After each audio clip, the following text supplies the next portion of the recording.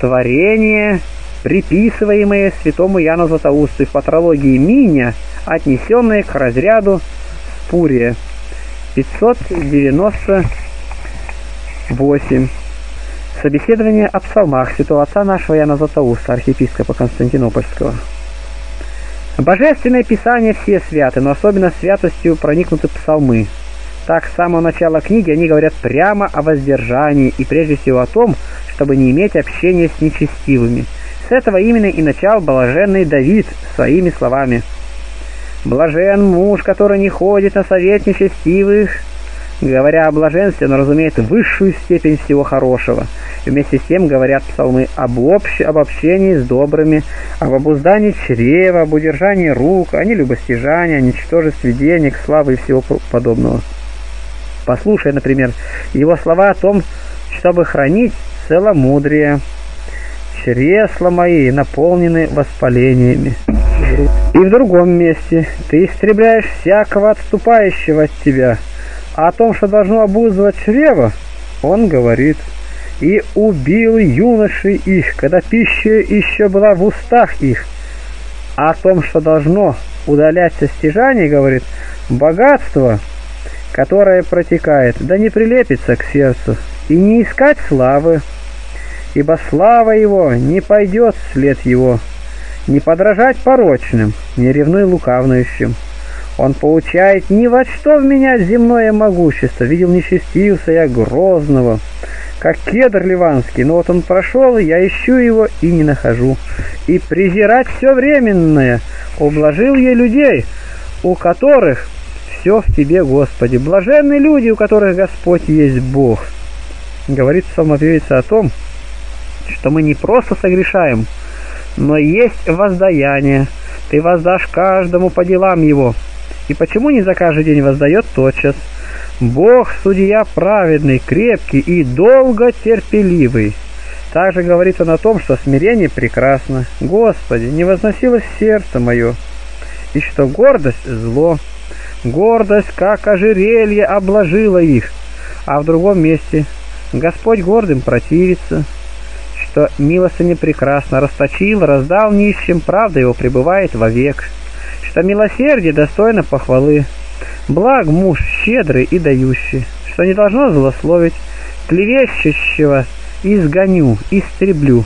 И много, гораздо больше сказано, найдешь ты здесь мыслей, исполненных любомудрия. И он беседует не только о настоящем, но и о будущем.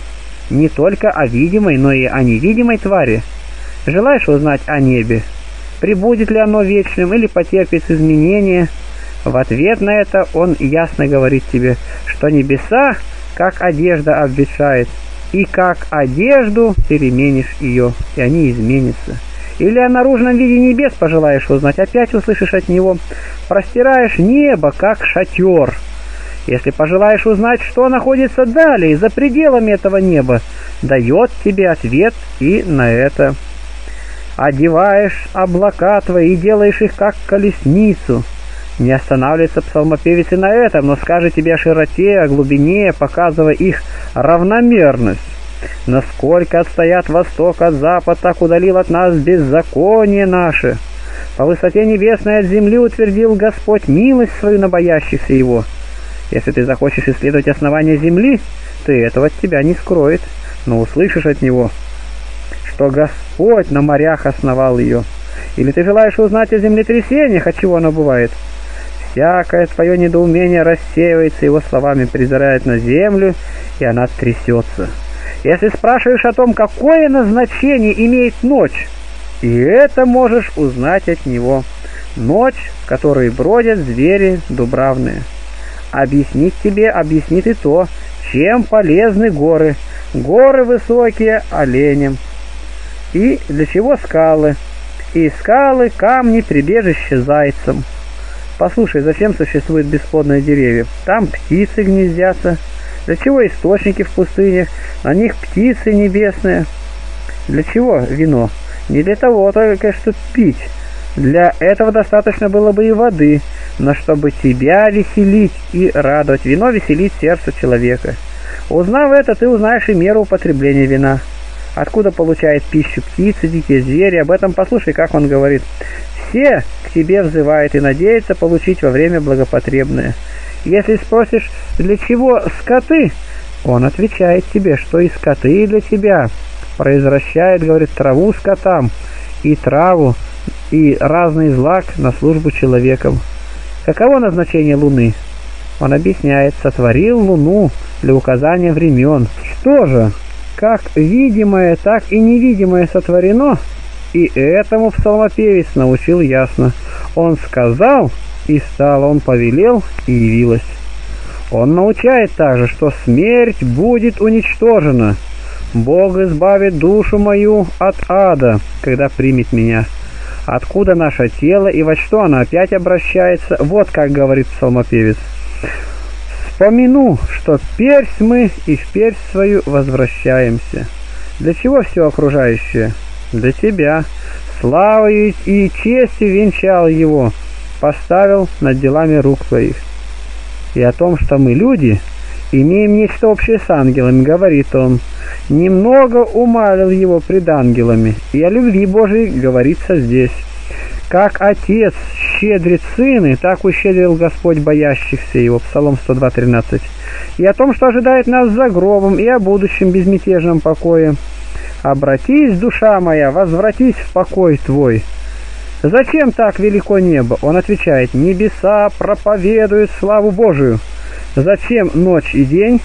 Не для того только, чтобы сменять друг друга, но и для того, чтобы назидать.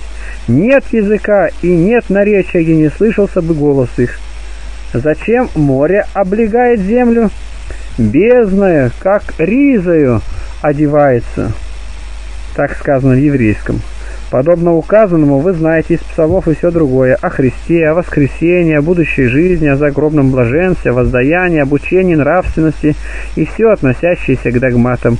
И тысячи других наставлений, наставлений переполнена книга эта. Если ты впал в искушение, ты почерпнешь здесь обильное утешение. Если согрешишь, найдешь здесь тысячи готовых лекарств. Впадешь ли в бедность или в какое несчастье, она укажет тебе многие пристани. Будешь ли ты праведным, и тогда извлечешь из нее великую пользу. Будешь ли грешником, отсюда получишь утешение. Так, если ты будешь праведным, будучи терпишь бедствие, то в утешении услышишь, что ради тебя умершляют на всякий день, считают нас за овец, готовых на заклание. И вот все пришло это на нас, но мы не забыли тебя. Если надмевает тебя твои подвиги, псалмопевец напоминает тебе, не входи в суд с рабом твоим, ибо не оправдается пред тобой всяк живущий. Если ты грешник и отчаиваешься в себе, ты тотчас услышишь возглашающего. Ныне, когда услышите голос его, не ожесточите сердец ваших, как в одни ропота и тотчас восстанешь.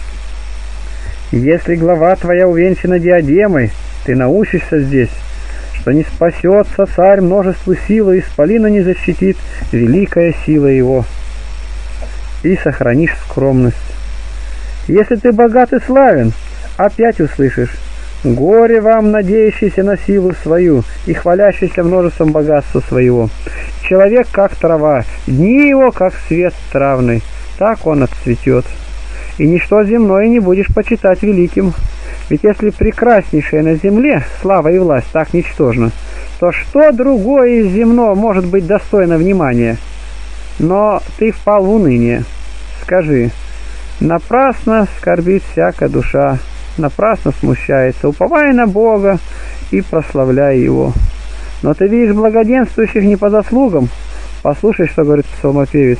Как трава скоро увянут, и как зеленеющий злак отпадут. Или ты видишь, что и праведные, и грешные терпят одинаковую участь? Посмотри, причина не одна и та же. Много, говорит, скорбей грешному, а праведный же совершенно иначе. Многие скорби праведным, и от всех их избавит его Господь. И в другом месте смерть грешникам люта, но честна пред Господом смерть преподобных его. Постоянно читай это и отсюда наставляйся. Каждое из этих слов – беспредельное море мыслей. Мы только отки окинули их беглым взглядом. Если же вы пожелаете тщательно исследовать сказанное, то увидите великое богатство как здесь, так равно и в других писаниях. Но так как это исследование сопряжено с трудом и немалым, то ограничимся пока сказанным уже, чтобы вместе и душу усладить пением, и труд свой облегчить. Итак, пусть воспевает уста, и пусть назидается ум. Само по себе это уже немалое дело. В самом деле, если псалмопение не позволяет тебе завидовать, огорчаться и впадать в уныние безвременно, и внушает не ценить высоко ни богатство, ни скорби, ни бедность, ни даже самую жизнь, то этим самым оно освобождает тебя от всех страстей. Другими словами, если мы приучили язык к пению псалмов, то душа постыдится желать противного тому, что воспевает язык. В этом случае нам самим нужно взять гусли Давида, чтобы душа наша отзывалась на псалмы, и в себе самой, и добрыми делами. Если же мы остановимся только на половине дела, то есть слыша псаломскую песнь и отзываясь душой в своих делах оказываемся противниками воспеваемого, Тогда и лекарство нам послужит в осуждении, и ярость дьявола возрастет, потому что прежде чем мы услышим «лукавый дьявол боится», чтобы мы не справились, услышавши, когда же мы и услышавши остаемся теми же самыми, тогда он освобождается от страха. Итак, будем псалмопение сопровождать согласными с ним делами, чтобы не извергнуть жесточайшую ярость демона и привлечь благодать Духа. Ничто, ничто так не возвышает души, не окрыляет ее, не освобождает от земли и не разрешает уст тела. Ничто так не располагает к любомудрию и к презрению всего житейского, как мелодия псалмов и пение, сопровождаемое ритмом. Потому-то именно, когда Бог увидел, что многие люди становятся рассеянными, и вследствие этого с неудовольствием переносят утомление – Тогда он, желая сделать труд более привлекательным и смягчить связанное с ним чувство тяготы, подвигнул язык блаженного Давида изложить в порядке эти псалмы и мелодию растворить пророчеством, чтобы все, воодушевляемые ритмом пения, с полным усердием воссылали ему священные гимны. Самая природа наша так тесно и нежно привязана к пению и песням, что даже плач и капризы грудных детей им успокаиваются. Ведь действительно кормилицы, нося детей на руках и укачивая их, усыпляют их, напевая им разные песни. По той же причине путешественники часто прибегают к песням, погоняя вьючных животных в полдень, чтобы этими песнями смягчить для них изнурительность пути. И не только путешественники, но и земледельцы, как во время давления винограда и собирания плодов – так и во время ухода за лозами или за другой какой работой часто поют. То же самое делают моряки из-за гребли. Точно так же женщины за ткацким станком, перебирая челноком натянутую основу, иногда каждая про себя, иногда все вместе поют одну какую-либо песню. И так делают это и женщины, земледельцы, моряки, стараясь пением подбодрить себя в своих трудах, как будто душа под пение легче может перенести все тяжелое и горькое. А чтобы такой сильной привязанности нашей души к этому роду наслаждения не воспользовались демоны и не развратили всех, вводя свои блудные песни, в ограждение от них Бог воздвигнул псалмы, в одном деле соединивый пользу и удовольствие. От мирских песен вред и погибель, и вообще много ужасного может быть причинено ими так как они располагают душу к бесстыдству и беззаконию, изнеживают и расслабляют ее. От духовных же песен, напротив, большая выгода и польза, и великое освящение. И они могут послужить основанием всякому любомудрию, так как и самые слова их очищают душу, и кроме того, душе их воспевающей приобщается Дух Святой. Итак, будем воспевать душою исполненной любомудрия псалмы, чтобы понемногу взойти и на высшую ступень. Если ты навыкнешь петь псалмы, тогда сумеешь петь и гимны, а это дело более божественное. Именно псалмам свойственно все человеческое, а гимны, напротив, не заключают в себе ничего человеческого. Гимны, а не псалмы, воспеваются горними силами. Напротив, не красна песнь в устах грешников. Похвала Премудрость Сираха 15.9. Почему и Павел увещевает, «Пая в сердцах наших Господу». Не просто устами, но со вниманием. Воспевать так, значит воспевать Богу, но если только звук голоса раздается в воздухе, тогда ты воспеваешь воздуху. Не нужно особого места, не нужно времени, но на всяком месте и во всякое время можно в уме воспевать псалмы. Ходишь ли ты по площади, или находишься в пути, или беседуешь с друзьями, всюду можно возноситься душой к Богу, можно взывать к Нему молча. Так взывал Моисей, Господь услышал его.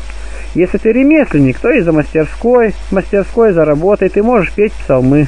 Будучи ли солдатом или восседая на судилище, ты можешь делать то же самое. Можно петь и без голоса, только бы внутри звучала мысль. Ведь мы поем не человеку, но Богу. А Он слышит и голос сердца, и проникает в сокровеннейшие наши мысли. И как духовные мужи, имеющие помазание Святого Духа, всегда молятся за ближних и возносят усердные молитвы. Так будем поступать и мы. Каждый день будем приступать к Богу. И за самих себя, и за братьев наших. Как можно приступать к Богу? Имея правую жизнь и чистую совесть чего никак иначе нельзя достигнуть, как только прилежа закону Божий день и ночь. И пусть никто мне не говорит, будто прежде толкования я не мог знать смысла псалмов. И без толкования всякому сколько-нибудь желающему быть внимательным может даже один стих внушить великое любомудрие, побудить к решению и принести великую пользу в жизни. Например, ты скажешь «Блажен муж, боящийся Господа», Псалом 111.1. Если ты в состоянии понять, что значит произносимые тобой слова, то после этого ты не будешь уже считать себя образцом ни вельможу, ни богача, ни владельца роскошных домов, не имеющего доступ ко двору, ни даже самого венценосца, и никого другого, как только пребывающего в благоговении, в любомудрии, в страхе Божием. К этому должно располагать тебя не только будущее, но и самое настоящее, потому что и здесь благочестно живущий сильнее всех тех. Итак, будем и мы усердны в обращении к Богу, научимся, как должно обращаться к Нему. Бог не ищет красноречия или складных речей, но красоты души. И если она говорит угодное Ему, то получает полное удовлетворение. В самом деле – если посещая какого-нибудь известного человека, из общения с ним ты извлекаешь великую пользу, то тем более тот, кто посредством продолжительных молитв находится в постоянном общении с Богом. И грешник может совершить великое, если он молится со смирением. Это уже начало добродетели. Так именно было с мытарем, который достиг всего простыми словами, благодаря тому, что он воспитал в себе доброе настроение. В чем выразилось его настроение? Он упрекал себя, ударял в грудь и не смел глаз поднять к небу. Если ты будешь так молиться, сделаешь душу свою легче пера. Итак, да будет молитва наша тихо и смиренно, да будет лицо и исполнено приятности, нежности и кротости, и да не обращается она против врагов наших. Такая молитва достойна неба. Такой язык достоин ангелов. Если будем возносить молитвы Богу за обижающих и оскорбляющих нас, Тогда будет услышана и молитва наша за нас самих. Если так настроим душу, то будем в состоянии и мы говорить Богу с дерзновением. «Ущедри меня и услышь молитву мою». Псалом 4.2. И Он легко склонится к нашей молитве и дарует нам Царство Небесное, которого досподобимся достигнуть все мы благодатью и человеколюбием Господа нашего Иисуса Христа, которому слава во веки веков. Аминь.